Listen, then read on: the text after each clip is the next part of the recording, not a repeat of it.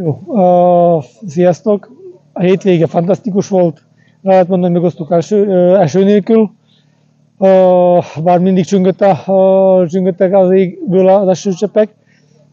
A homokos pályát szeretjük, uh, időjárás fantasztikus volt, úgyhogy minden tökéletesen működött. Első hely megvan, annak ellenére, hogy kevesen voltunk, de, de nem nagy baj.